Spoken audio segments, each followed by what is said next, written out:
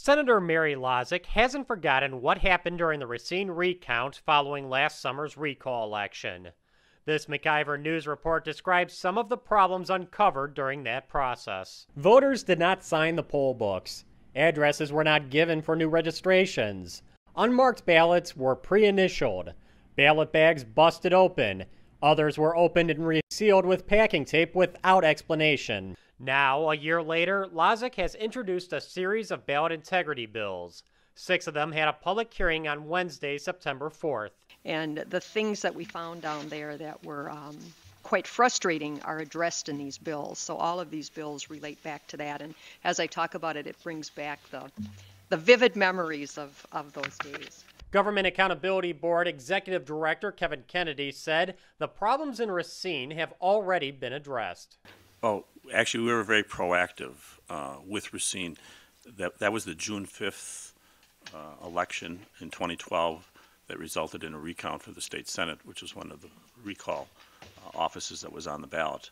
Uh, that was the fourth election that uh, the city of Racine, and um, we saw one of the benefits of a recount is it's like a performance evaluation. You see the problems and so we stepped in after that election. Democrat Senator Mark Miller provided some bipartisanship by signing onto a bill that relaxes residency requirements for elections officials. But he disagreed with Senator Lazich over the existence of voter fraud. I don't understand what chain voting is. She, I think she meant chain what I mean is voting more than once is what I mean. I don't think there's ever been in, anything other than isolated incidents of where that's happened, and it's usually been a confusion because of an absentee ballot and a, and then voting in person. And as those from Milwaukee County testified that investigate that, they said there just isn't a paper trail to determine that. Scott Foval from People for the American Way testified against all six bills. There has not been enough uh, evidence, real evidence, uh, produced anywhere around the country that voter ID fraud is a problem, and we do believe that this will disproportionately affect uh, minority communities, specifically the African American and Latino vote. We believe that uh, requiring a voter ID, uh, if it is not free and easy to obtain, is an undue burden on the voter. Senator Lazich argued the way elections are conducted makes it difficult to collect and investigate information on fraud.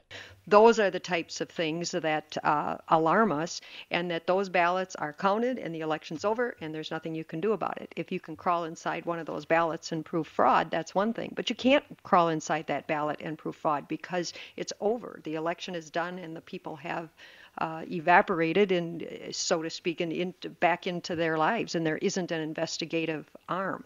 What we have here today is bills that will provide that opportunity. And we have things like signing the poll book, these things we've done in recent years to give law enforcement the tools they need and the evidence that's available to show that there is not voter suppression, that these are fair votes, that no one is being denied, or that on the other side uh, it is. So it's that balancing test. It's that fairness that I strive for. Senator Lazich's office said there is no set timeline on when her ballot integrity bills will move forward.